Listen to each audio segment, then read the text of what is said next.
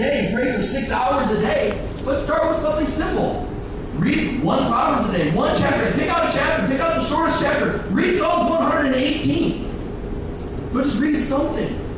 You'll feel good about it. The Lord talks about that. We need to meet with Him every single day. Maybe, maybe you didn't read your Bible this morning.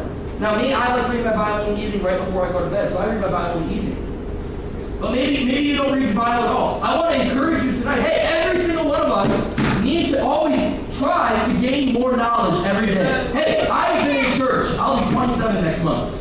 I've been in church for 27 years, every Sunday morning, Sunday night, Wednesday night, special meetings and everything. And guess what? Every time I go to church, every time I do my devotions with God, I learn something new. Amen. This book, you will never ever learn everything there is to know about this book. Yeah. Yeah. But if you dive in, you'll always learn something new. Sometimes when I do my devotions, Miss Joanne and I do some together as well. I'll read something and I'll, I'll pause in the middle. She'll look at me and say, "What? What? What's that?" And I was like, "I never. You know how many times I've read that, Miss Joanna? I have never, I've never known that. I've never seen that. Thank you, Lord." And you know what? I pray and I say, Lord, thank you for this time of devotion time. I'm so glad I got to spend it with you. Thank you for teaching me something new. Thank you for allowing me to gain knowledge from your word, the Bible. And I can use that later down. Hey, you know how many times that I've done that?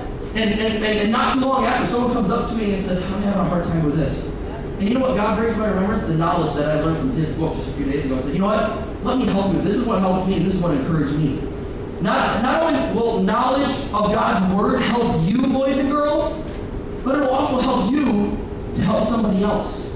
You've gotta have knowledge from God's word. So here's the simple, here's the simple thing tonight. Maybe you're here and you're not reading your Bible. I encourage you to read your Bible. Don't let your don't let your head hit the pillow at night without reading something from God's word. Hey, I promise you, God will bless you for it, and Satan's gonna hate you for it. But you know what? I would rather please God than Satan any day. Because Satan is evil. He's wicked. So I encourage you to read your Bible. And I, don't want to ask for a hand, raise a hand, but I want you to ask yourself, do I have, do I read God's Bible? No, I'm not saying, yeah, I read God's Bible on Sunday morning during church and Sunday night and Wednesday night. No, no, no, I'm not talking about that. You've got to be able to read your Bible every day and pray. And say, Lord, help me to understand. And sometimes, you know what? Sometimes I'll read through my Bible, boys and girls, and I don't know. I, I read through my Bible and I say, Lord, what did I just read? I don't understand that. All these Meshibeth and Elixaba begat. I was like, Lord, what did I just read? But you know what? The Lord will give you something out of it. But you have to want it. You have to ask God, Lord, please help me to understand what I'm about to read tonight.